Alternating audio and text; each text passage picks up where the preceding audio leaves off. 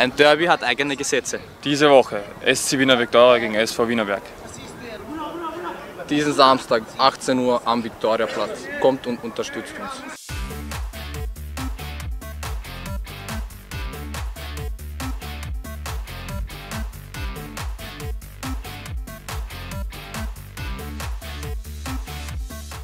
Derby-Time am Wiener Viktoriaplatz kommenden Samstag. Schwere Partie gegen Wienerberg, aber ich glaube, so ein Derby motiviert eigentlich immer besonders hoch. Also ich muss sagen, erstens einmal glaube ich, wenn die Emotionen sehr, sehr hoch sind, weil nach den Vorfällen, was im Mai, April, Mai gewesen ist, glaube ich, wird glaube ich, diesmal der Wiener Viktoria Kunstrasen brennen. Die Emotionen werden sehr, sehr hoch sein. Es steht sehr viel am Spiel, weil immer so ein Nachbarderby immer an Interesse wecken tut. Wir hoffen natürlich an sehr viele Zuschauer. Ja. Dabei haben wir die Zuschauer eigentlich mehr vergrämt wie zu uns wieder retour geholt.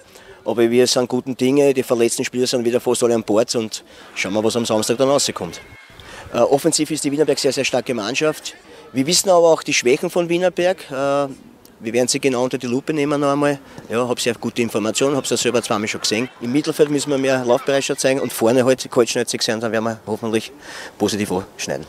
Ja, es ist wie immer ein besonderes Spiel gegen einen äh, Bezirksnachbarn.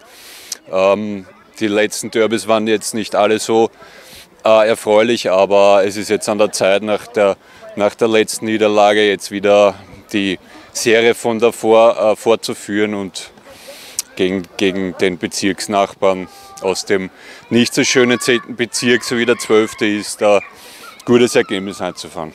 Das eine Spiel jetzt äh, auswärts gegen Technopol war nicht sehr erfolgreich, aber die davor, da haben wir äh, wieder schon ein bisschen gezeigt, was wir können. Und darauf müssen wir jetzt endlich wieder anschließen, um die letzten Partien bis zum Ende der Herbstsaison positiv zu absolvieren.